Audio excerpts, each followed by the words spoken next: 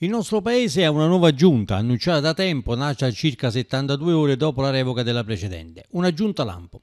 Nessuna sorpresa si legge nella nota del gruppo P, consigliare del PD per il domani, Tuttavia, una mera operazione elettoralistica in funzione del voto del prossimo anno. Una misura che non serve a nostro avviso a dare slancio ad una maggioranza in evidente debito di ossigeno, in totale confusione, nettamente indebolite con la sostituzione inspiegabile del vice sindaco Francesco Capuano, la cui vicenda politica ha creato evidentemente qualche affanno al sindaco e riteniamo qualche altro gliene creerà nell'immediato futuro. A Franco Capuano va la nostra solidarietà umana e politica, siamo pronti ad accoglierlo nel gruppo consigliare e nel circolo democratico cittadino, luoghi a lui più consoni per storia personale, tradizione familiare, cultura, retroterra politico e ideologico. Bentornato Franco, ti ricordiamo che il tempo è galantuomo. Per il resto uno spettacolo grottesco, una farsa per nascondere debolezza politica, mancanza di idee e prospettive.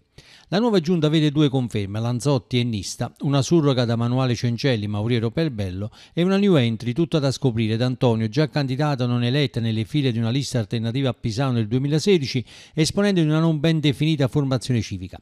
Le deleghe, leggere quelle assegnate, mentre le più pesanti, manco a dirlo, sono tutte rimaste strettamente in capo al primo cittadino. Lavori pubblici, finanze, tributi, contenzioso, bilancio, personale. Praticamente la giunta è lui, considerato il netto squilibrio tra le sue e le altrui deleghe, e tutto ciò in spregio al normale funzionamento di una moderna e rispettosa democrazia rappresentativa. Della serie, un uomo solo al comando. Ancora una volta, a distanza di più di quattro anni dal voto del 2016 a otto mesi da quello del 2021, a pagare Dazio è una delle forze a sostegno del sindaco, cioè l'Associazione Liberamente, che conta, se non erriamo, tre consiglieri comunali in carica, nessuno dei quali neppure stavolta è stato preso in considerazione per un posto in giunta. La cosa ci lascia perplessi e pieni di dubbi.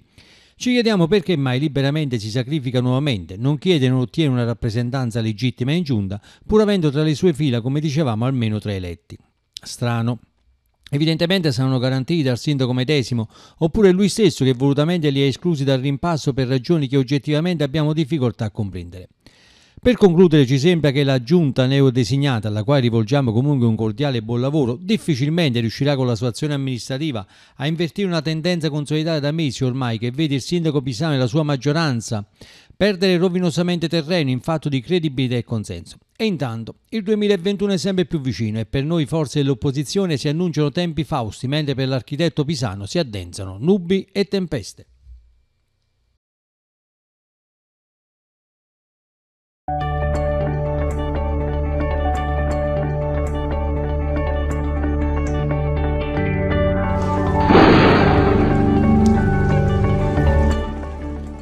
Buongiorno a tutti e ben ritrovati. Buongiorno.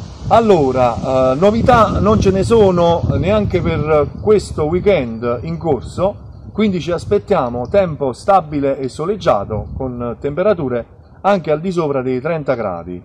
Per la prossima settimana invece ci aspettiamo un temporaneo calo dei geopotenziali, specie sulla fascia costiera campana, con il rischio di qualche fenomeno isolato. Per quanto riguarda invece a fine mese, probabilmente, ma ancora da confermare, è possibile che la nostra campagna possa fare i conti con perturbazioni atlantiche che possano dispensare le famose piogge autunnali con un drastico calo termico, ma attendiamo conferma. Un saluto a tutti, al prossimo aggiornamento. Arrivederci. Arrivederci.